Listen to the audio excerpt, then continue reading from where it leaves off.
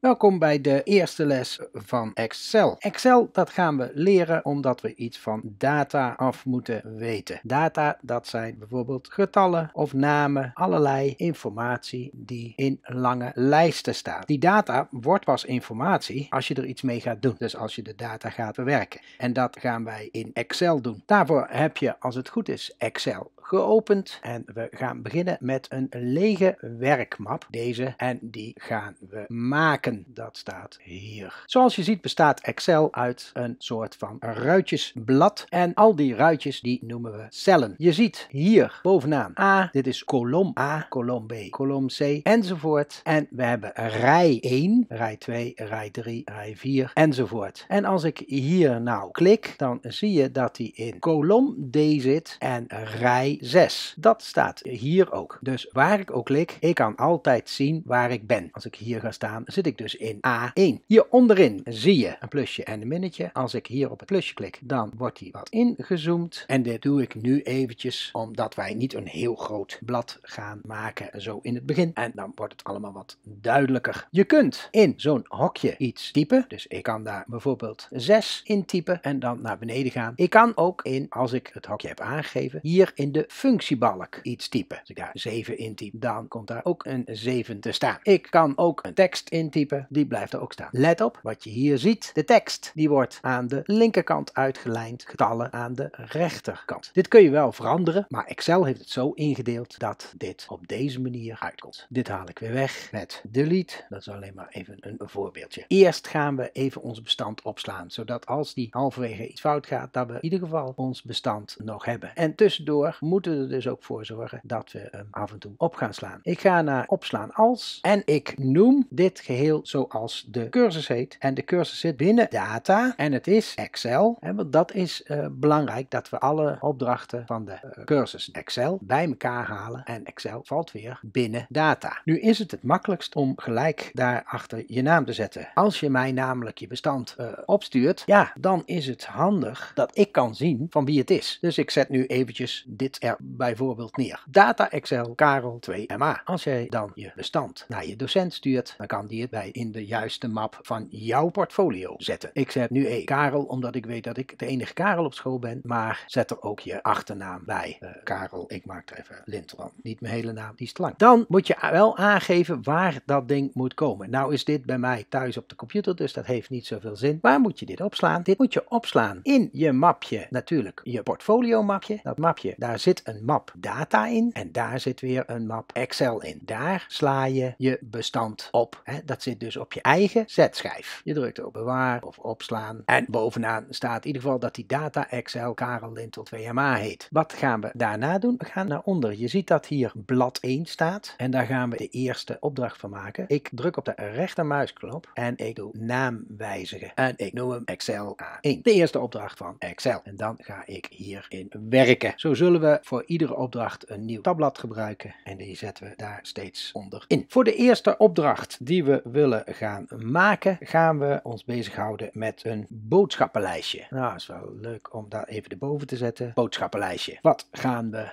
kopen. We gaan kopen appels, peren en bananen. Appel, peer, banaan. Nu gaan we hier de prijs aangeven. De prijs van een appel gaan we even 50 cent. En dat is dus een halve euro, dus 0,5. Als ik hier nou een 0 achter zet, dan maakt hij er zelf toch weer 0,5 van, omdat hij zo ingesteld is. Daar zullen we dadelijk wat aan doen. Een peer is 60 cent en een banaan is 40 cent. Ik klik op het hokje waar 0,5 in staat. Ik sta ergens in het midden. Ik hou mijn muisknop ingedrukt en ik sleep hem naar beneden. En je ziet, ik heb drie hokjes geselecteerd. En die drie hokjes, daar wil ik een andere notatie maken. Nou, hier zie je financiële notatie. Kun je daarnaast klikken en dan geeft hij een aantal mogelijkheden. En er zijn nog veel meer mogelijkheden, maar ik gebruik Nederlands. Het euroteken. Ik ga er buiten staan en ik heb dat hele lijstje eurotekens gemaakt. Dan moet ik even bepalen hoeveel wil ik er eigenlijk. Ik wil vier appels, 6 peren en 5 bananen. Ik ga in appel staan, middenin. Ik selecteer alles. Ik schuif naar beneden totdat het een handje wordt. En ik trek de boel nog eentje naar beneden. Ik ga hierboven namelijk neerzetten dat dit een artikel is. Dat dit de prijs per stuk is. Dat dit het aantal is. Vind ik het persoonlijk nog wat mooier om dit dan te bewerken. Gewoon om te laten zien dat het kan.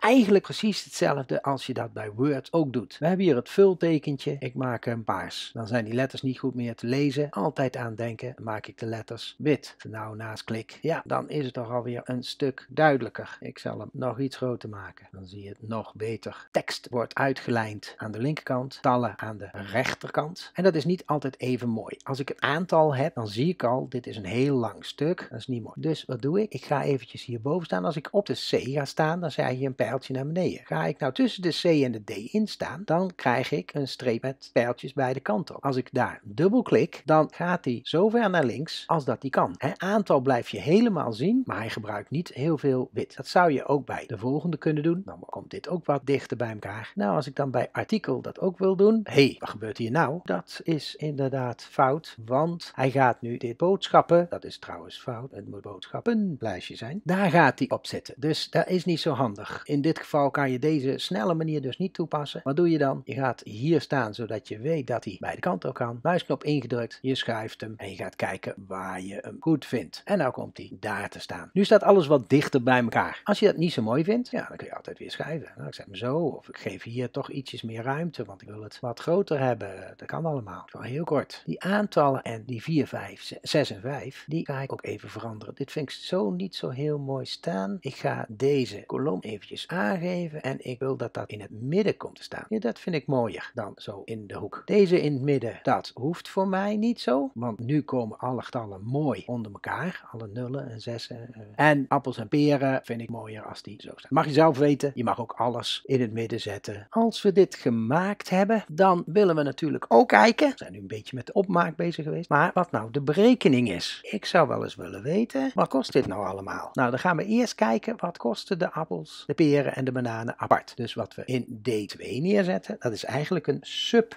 Dan wil ik dat dat ook paars wordt. Dat is wel mooier. Wat doe ik dan? Ik ga op aantal staan. Ik druk op dat kwastje, de opmaak. Ik ga weer terug op subtotaal staan en ik klik. En je ziet, ook dat is daar neergezet. Let er wel op, hij heeft de hele opmaak van C gedaan. Dus deze staat nu ook in het midden. Zie je, hij is paars en wit, is de. Dus deze staat nu in het midden. Nu wil ik weten, wat gaat mij dit kosten aan appels als ik vier appels ga kopen? Ik hoor je denken, ja dat is 2 euro, dat zie ik zo ook wel. Ja, dat klopt. Maar kunnen natuurlijk ook moeilijke getallen zijn. Het gaat om het systeem. Als ik hier een berekening wil maken, dan kan ik dat weer op dezelfde plek doen, deze, en op deze plek. Dat maakt niet uit. Als ik wil berekenen in de formule, dan zal ik altijd eerst is moeten doen. Nou weet Excel van, oh, er komt nu een sommetje. Hè? Er komt een formule. En ik wil niet 50 cent keer 4 doen, want dan blijft het altijd 50 cent keer 4. Het mooie is dat ik hier dadelijk dingen in kan veranderen en dat ik dan toch nog steeds weet hoe duur iets is. Dus ik wil niet de prijs, want prijs kan veranderen. Ik wil